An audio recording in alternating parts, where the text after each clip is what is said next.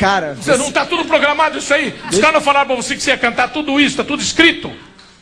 Tá- vê, pode pegar aqui um, vou dar um só aí. Olha lá. Vê, vê, vem no meu, ó. Vê os cravos nas mãos, seu corpo a sofrer naqueles momentos de dor. Vê o